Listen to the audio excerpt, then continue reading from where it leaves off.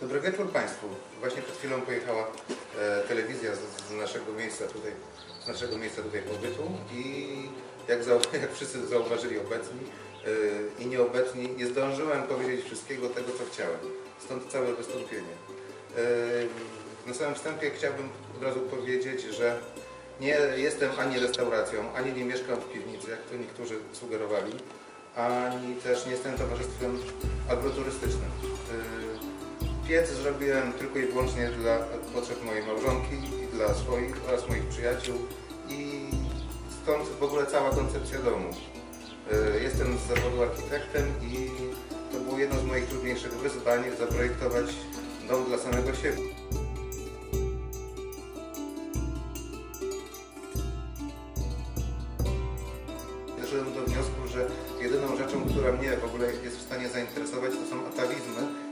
Drzemią we mnie i stąd w ogóle cały pomysł, żeby wszystko wokół domu kręciło się wokół ognia. Tak powstała idea pieca, równolegle z ideą domu. Obie te rzeczy są organicznie ze sobą połączone. Przeczytałem w rosyjskiej książce, że to, co chcesz uzyskać z, z, z ognia, uzyskasz pod warunkiem, że wcześniej mm, się trochę namyślisz. Biorąc pod uwagę ogrom w ogóle moich potrzeb, stwierdziłem, że mimo wszystko, wszystko da się zrobić to, co sobie wcześniej wymyśliłem, czyli po prostu kominek, nie, no, piec, bo tak w zasadzie można mówić o tym oto wydarzeniu, ym, zawiera w sobie kominek do palenia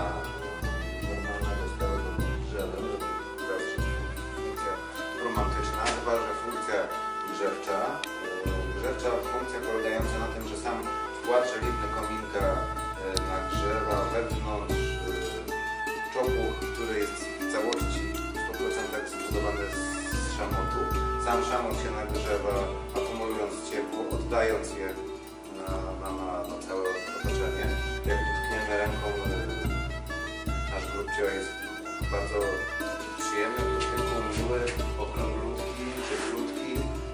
dysze, z których jeszcze dodatkowo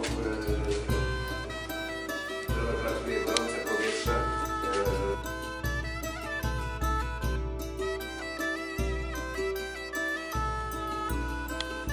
Spaliny z y, wcześniej wspomnianego kominka pierwotnie wędrują wprost do, do komina. Jednak mam tutaj takie kółeczka, które są w tym przypadku moimi przekładniami. Mogę zamknąć dopływ y, spalin do komina i otworzyć kanał, który prowadzi mi spaliny wprost do ławki grzebi. Akurat one dokładnie pode mną idą w tamtą stronę, wracają i idą w stronę łazienki. I tam przez rurę stalową jeszcze dodatkowo ogrzewają e, prysznic. Idea ławki grzejnej jest o tyle prosta, że po prostu ona jest w stanie podgrzać temperaturę człowieka w momencie, kiedy jest przeziębiony do prawie że 40 stopni. Wówczas sam człowiek nie musi tej temperatury wyt- wytwarzać, przez co po prostu e, na bieżąco można walczyć z zarazkami i człowiek cały czas jest zdrowy.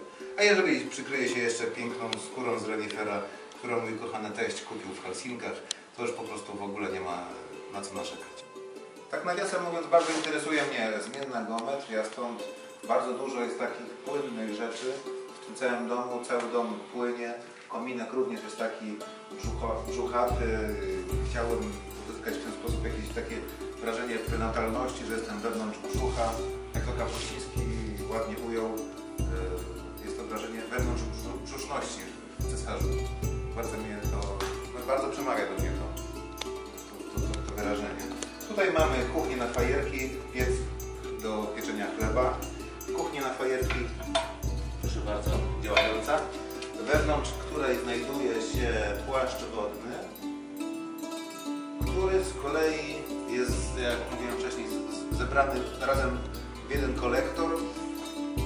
Bo tutaj znajduje się żeliwny radiator, faktycznie komin, e, kaloryfer ze złomu, który po prostu pobiera ciepło. O, tutaj e, oczywiście płaszcz wodny również pobiera ciepło. Wszystko to jest zebrane w jeden kolektor, który rozpro, rozprowadza e, ciepłą wodę do boilera, który znajduje się w tylnej części całego urządzenia. Roz- rozprowadza ciepło na kaloryfery i rozprowadza ciepło na ogrzewanie podłogowe, które znajduje się tutaj. w kuchni. W kuchni i w łazience, dokładnie rzecz biorąc. No i tak to po prostu wygląda. Na kuchni można sobie, u, u, gorące, można sobie y, ugotować. Nie jest człowiek zależny od y, dostawców gazu, którzy raz chcą tyle, raz jeszcze więcej. To jest piec chlebowy. Małżonka zaraz przyjdzie, pokażę Państwu co ona potrafi.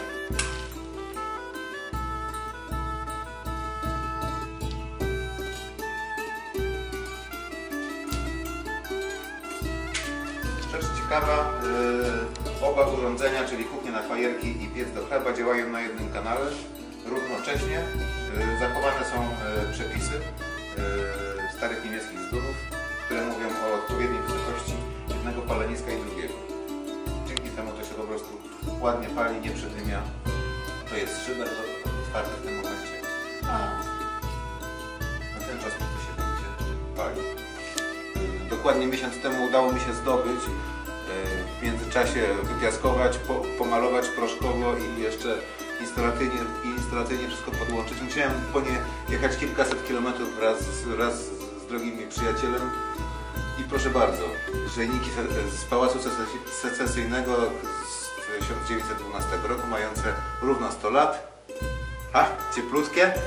Proszę mi wierzyć na słowo. W zasadzie cała budowa y, moja bardzo podobna jest do dalekomorskiego rejsu, który odbyłem właśnie z tym człowiekiem, który jest na górze Lukardy, który już nie żyje, jest mój kochany teście Roman, który mi pokazał, jak się buduje domy, nie mając specjalnie pieniędzy, a tylko własną pracą. Cześć jego pamięci.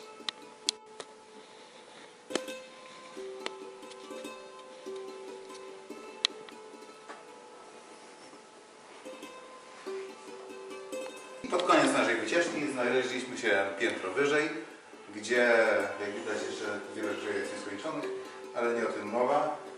E, Mamy tutaj do czynienia z anemostatem, e, profesjonalnie wyspawanym prze, przeze mnie e, z blachy.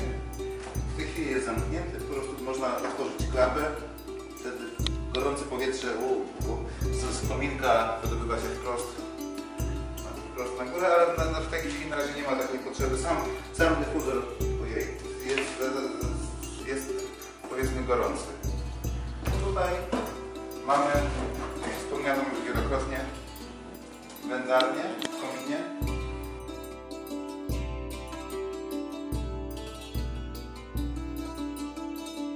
Słychać w naszej piekarni. Uuu, dzieje się, dzieje. Niech się jeszcze trochę popali. Proszę Państwa, są tak piękne rzeczy. Jestem szczerze wzruszony tym wszystkim, co się dzieje. Także naprawdę polecam Państwu zrobienie u siebie w domu chociażby chlebowego do wypieczenia małej bułeczki. Jest to naprawdę bardzo wzbogaci w ogóle nie tylko jadłoski, ale w ogóle i obyczaje domu. Mając na... Jak zaczynałem budowę tego pieca, mając wszystkie książki, e, wszystkie wiadomości, e, oczywiście byłem pełen obaw, jak do, jak do tego w ogóle mam przystąpić, w ogóle mi to wszystko w głowie nie mieściło. Przez rok czasu szukałem szuk- dzwoniłem do różnych firm i tak dalej, nikt nie specjalnie zainteresowany, aż tu nagle, jak to w bajkach bywa, Stun w czarnym kapeluszu zjawił się sam. Yy, bardzo szybko żeśmy się dogadali, bardzo szybko mi wszystko wyjaśnił, od czego mam zacząć i tak dalej.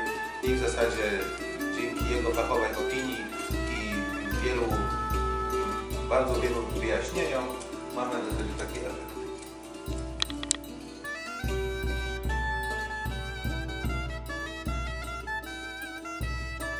Szanowni Państwo, nazywam się Maciej Żółty. Jestem wspomnianym z dumnym czarnym kapeluszu. Miałem okazję troszeczkę pomóc przy tym piecu i poznać fantastycznych ludzi.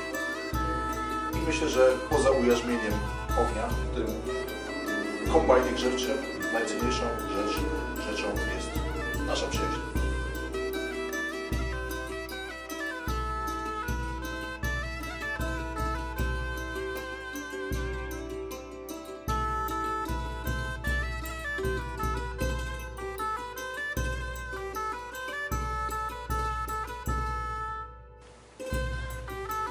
Tak się odpoczywa na mierzynie w Szczecinie.